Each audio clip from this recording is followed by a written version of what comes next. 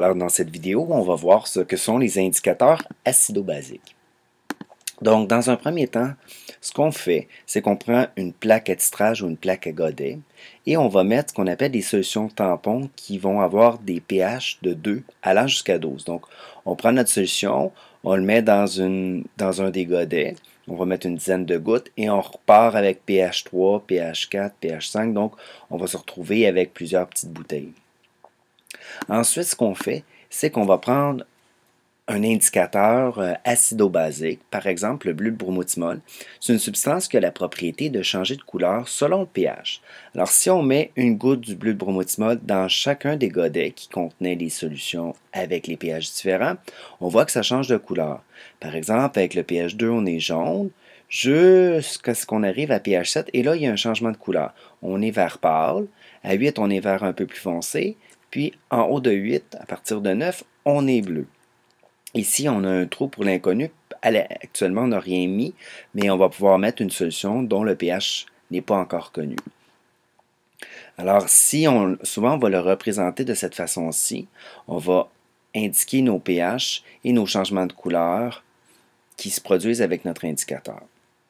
Donc, exemple de 2 à 6, de 2 à 6, je suis couleur jaune. En fait, probablement qu'en bas de 2 aussi, je suis de couleur jaune. C'est juste que je n'ai pas de pH 0 ni 1.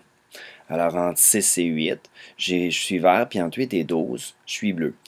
C'est difficile d'être très précis parce que nos pH sont entiers. Donc, si j'ai un point de virage qui, exemple, est à 6.2, ça ne sera pas très très clair. En réalité, le bleu de bromothymol, son vrai point de virage, c'est de 6 à 7.6, donc pas tout à fait 8. C'est pas extrêmement précis d'avoir un seul indicateur, mais ça peut nous donner une idée. Par exemple, ici mon inconnu est jaune. Alors s'il est jaune, je peux conclure que mon pH de mon inconnu est en bas de 7. Donc probablement que c'est un acide. C'est ce que je suis capable de dire, mais je ne serais pas capable de dire est-ce qu'il est fort ou il est faible. Ici, quand j'ai mis mon inconnu, c'est devenu bleu. Donc, si je suis bleu, je suis en haut de 8. Donc, ça me donne quand même une petite indication. Ce qui va être plus pratique, c'est quand on va faire un mélange d'indicateurs. Par exemple, j'ai de l'orange de méthyle et de la thymolphtaline. Donc, pour l'orange de méthyle, ce que je vois, c'est que je suis rouge en bas de 3. De 3 à 5, je suis orange. Je suis en haut de 5, je suis jaune. Pour la thymolphtaline, je vais rester de couleur transparente jusqu'à 10. 10 à 11, je vais être bleu pâle, puis en haut de 11, je vais être de, couleur bleue plus foncée. Si je prends mes deux indicateurs, je vais avoir un mélange de couleurs. Alors, si j'ai mis, exemple, une goutte d'orange de et une goutte de phénophtaline dans les deux, alors j'ai un mélange de couleurs. Alors, voyons voir ici, j'ai du rouge. Si je mélange du rouge et du transparent, je vais rester rouge. C'est pour ça qu'ici, ma couleur est restée rouge. Même chose, si je suis orange de 3,5 et je mélange avec du transparent, mais je vais rester orange ici. De 5 à 10, je vais être transparent mélangé avec du jaune, donc je vais rester jaune. Du bleu et du jaune, ça fait la couleur vert. Mais puisque mon bleu y était pâle, avec du jaune, je vais avoir un vert plus pâle ici. Et bleu et jaune, j'ai mon vert un peu plus foncé.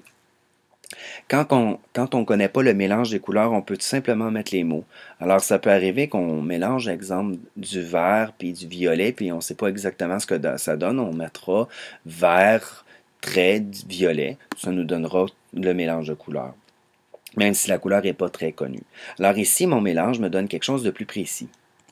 Alors, par exemple, si avec mon mélange, je mets un inconnu et je deviens vert relativement foncé, mais je vais pouvoir conclure que mon pH est en bas de 10, donc je suis plus précis que tantôt. Si mon inconnu ici, euh, je veux savoir, exemple, quelle couleur il va prendre pour une solution légèrement basique.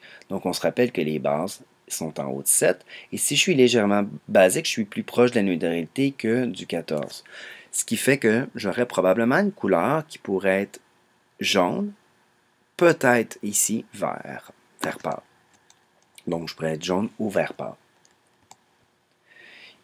Exemple, mon inconnu, avec le mélange, il devient rouge foncé. Ben, je suis en présence d'une solution qui est quand même fortement acide, puisque le rouge, je sais qu'il est en bas de, de 3. Donc, probablement 0, 1, 2 comme pH, ce qui est un, un acide relativement fort. Alors, voici pour les indicateurs acido-basiques.